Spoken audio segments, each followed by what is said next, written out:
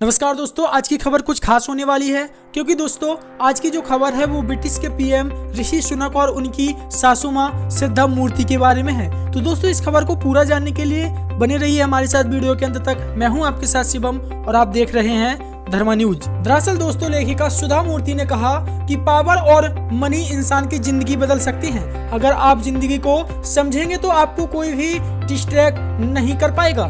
इसके लिए आप में मजबूती, इच्छा शक्ति होनी चाहिए।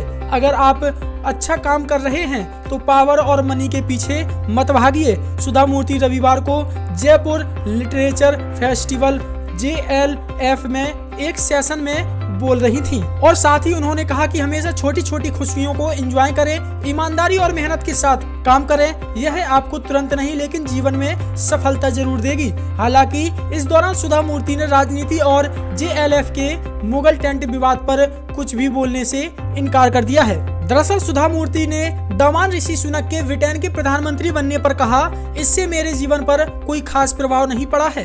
ये ज़रूर है कि लोग अब मुझे ब्रिटेन के पीएम की सास के नाम से भी जानते हैं। उनका नज़रिया भी बदलता है। उन्हें इससे कोई फ़र्क नहीं पड़ता। उन्होंने बताया कि ऋषि सुनक से सिर्फ़ हालचाल पूछने तक की बातचीत होती है। भारतीय स्टूडेंट्स के विदेश में पढ़ने और नौकरी के सवाल पर सुधा मूर्ति ने कहा, मैं इस मामले में कुछ नहीं कह सकती, क्योंकि मेरे खुद के बच्चे भी विदेश में सेटल हैं। कोई बच्चा विदेश जाकर पढ़े या नौकरी करे, इस मामले में उसके परिवार को ही फैसला लेना होता है। उन्होंने कहा कि बस यह कहना चाहती हूँ कि बच्चे जहाँ भी हों, उन्हें भारतीय कल्चर की जानकारी होनी चाहिए। अगर विदेश में बच्चे होंगे तो मुश्किल होता है। यही जीवन चक्र है। मेरे लिए भारत में रहना और भारतीय होना गर्व की बात है। और साथ ही सुधा मूर्ति ने कहा कि कोरोना के बाद इंसान की ज़िंदगी पूरी तरह से बदल गई है। छोटे बच्चों की ज़िंदगी सबसे ज़्यादा डिस्ट्रैक्ट हो रही है। ऑनलाइन क्लास और गैजेट्स की वजह से उनकी आँखों पर भी इसका असर पड़ रहा है। यह हालत पूरे देश में है। पिछले कुछ वक्त से आम लोगों की पढ़ने की आदत छूट गई है। हर लोग किताब नहीं पढ़ते, लेकिन किंडल पर जानकारी ढूंढते हैं। जो किंडल पर जानकारी नहीं ढूंढते, वो विकीपीडिया पर ढूंढते हैं। आम लोगों की नॉलेज इकट्ठा करने की आदत अब भी बरकरार है।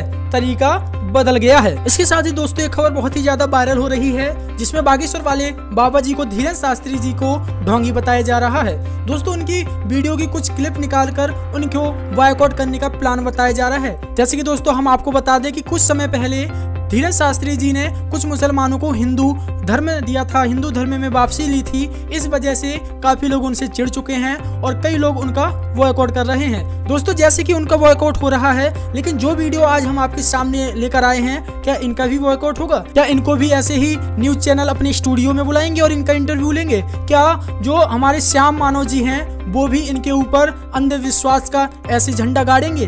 तो चलिए देखते हैं। हम आपको सबसे पहले वो वीडियो दिखा देते हैं।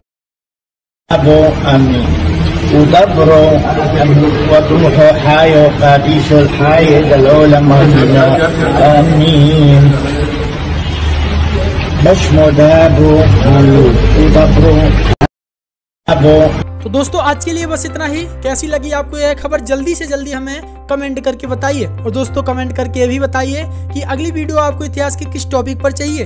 अगर आपने हमारे चैनल को सब्सक्राइब नहीं किया है तो जल्दी से जल्दी सब्सक्राइब कर दीजिए और घंटी बजा दीजिए, जिससे कि ऐसी खबरें आप तक सबसे पहले पहुँचे। जय हिंद दोस्तों, जय भारत, जय हिंद की सेना।